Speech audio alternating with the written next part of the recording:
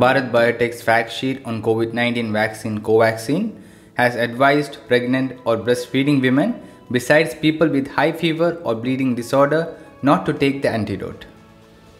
The vaccine maker in the fact sheet on Covaxin posted in his website said the clinical efficiency of the vaccine is yet to be established and is being studied in the phase 3 clinical trial and hence it is important to appreciate that receiving the vaccine does not mean other precautions related to COVID-19 need not be followed.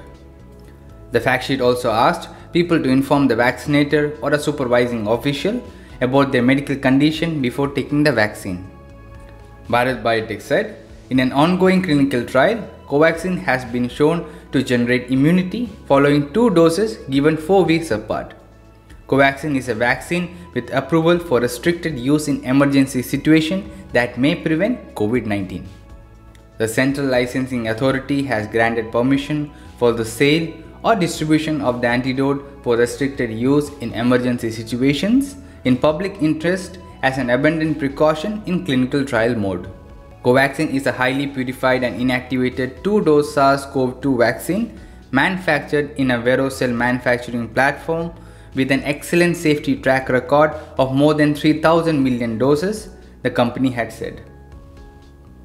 Covaxin is India's totally indigenous COVID-19 vaccine developed in collaboration with the Indian Council of Medical Research and National Institute of Virology in Pune. The inactivated vaccine is developed and manufactured in Bharat Biotech's BSL-3 or Biosafety Level 3 biocontainment facility, one of its kind in the world.